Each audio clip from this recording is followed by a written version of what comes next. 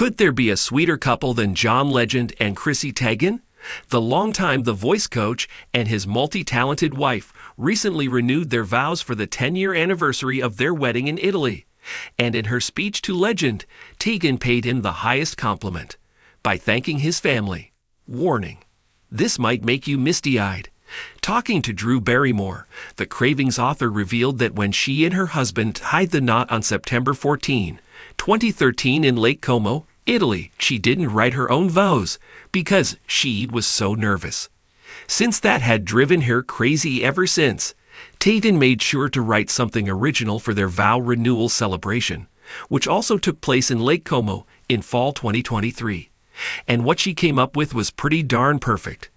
I made sure to write my vows, and I looked down at his family, and I just graciously thanked them for creating such an incredible being.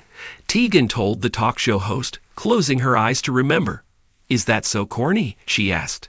Teigen also revealed that the secret to her long lasting marriage is simply I found someone really great. Our biggest battles are just trying to get our kids to get along together. The pair are parents to four children Luna, Miles, Esti, and Wren. Though she clearly found the experience very meaningful, Teigen initially dismissed the idea of doing something so formal to celebrate a decade of marriage. I didn't want it to be a vow renewal.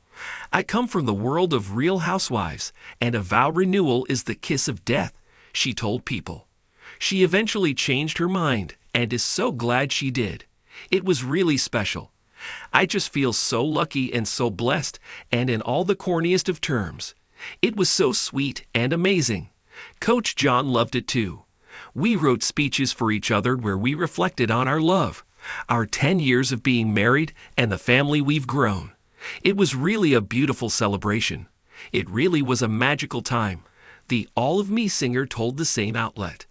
I think the biggest difference between our wedding and our anniversary celebration was the fact that we have four kids now, so being able to celebrate it with them there was pretty amazing. We got pretty emotional just seeing them there.